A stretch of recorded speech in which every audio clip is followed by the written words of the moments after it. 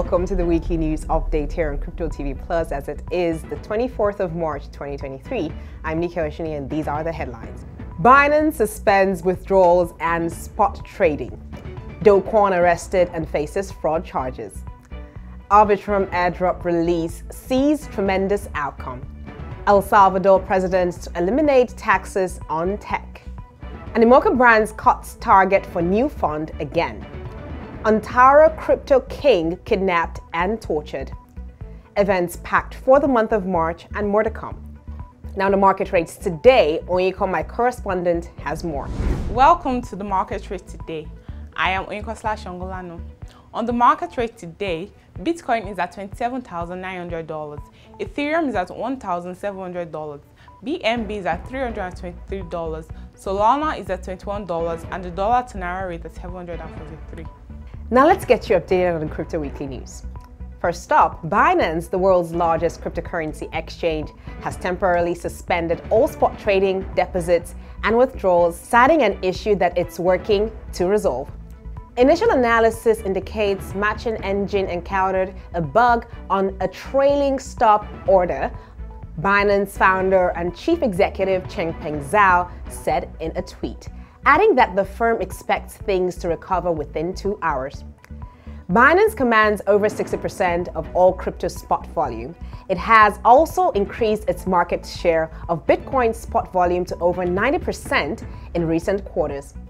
Next up, Terraform Labs CEO Do Kwon has been charged with fraud by United States prosecutors in New York just hours after he was reportedly arrested in Montenegro. In a court filing signed by United States Attorney Damian Williams, the 31 year old entrepreneur has been charged with eight separate counts, including commodities fraud, securities fraud, wire fraud, and conspiracy to defraud and engage in market manipulation. Under the first charge, conspiracy to defraud, the US prosecutors claim to have jurisdiction over Kwon because he made a series of false and misleading statements during a TV interview that was transmitted to, among other places, the Southern District of New York about the extent to which the Terra blockchain had been adopted by users.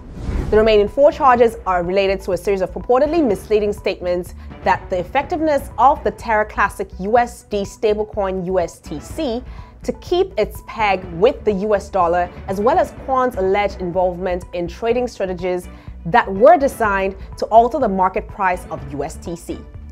Meanwhile, as the hype surrounding the Arbitrum ARB airdrop continues, on-chain activity shows that airdrop hunters consolidated tokens worth around $3.3 million collectively from 1,496 wallets into two wallets. According to the blockchain analysis platform Lookonchain, one wallet received 1.4 million ARB from 866 addresses.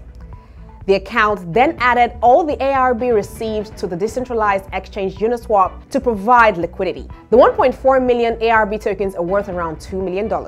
On the other hand, another wallet received 933,375 ARB from 630 addresses worth around $1.38 million. Moving on, El Salvador's President Nayib Bukele said earlier in a tweet that he will send to the country's Congress next week on technology innovations as well as computing on communications hardware manufacturing.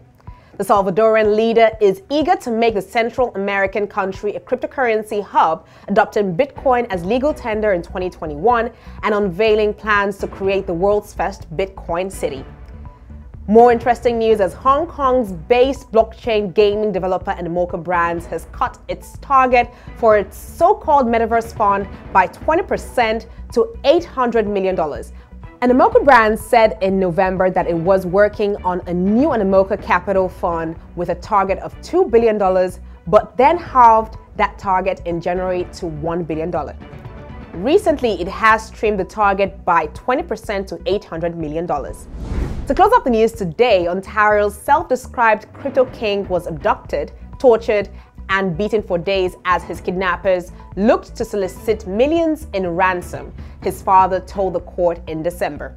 New documents obtained include details of the December incident where Aiden Pleterski was allegedly abducted from downtown Toronto and driven around southern Ontario for about three days. The nearly 750 page report released on the 14th of March also contains the latest findings in a months long pursuit to trace millions of dollars invested into cryptocurrency and foreign exchange with a 23 year old before he was petitioned into bankruptcy. The documents allege Pleterski invested less than 2% of the more than $40 million handed to him. Instead, he allegedly spent nearly 38%, almost $16 million, on luxury cars, private jets, and elaborate vacations. Aiden ran a business in which he told people he would invest their money, and that's not what happened. Rob Stelzer, appointed bankruptcy trustee on the case, reported. And that's it for the weekly news update here on Crypto TV Plus. For more market updates and all the happenings captured in the world of blockchain and cryptocurrency, visit our website cryptotvplus.com. Also follow us on our social media platforms, Facebook and Twitter at Crypto TV Plus and on Instagram at Official Crypto TV Plus to get daily info on our programs. Don't forget to subscribe to our YouTube channel and turn on the notification button as well. And just in case you have questions regarding any of our news, join me in the comment section below. Thank you for watching. I'm Nika Oshini and I'll see you next time.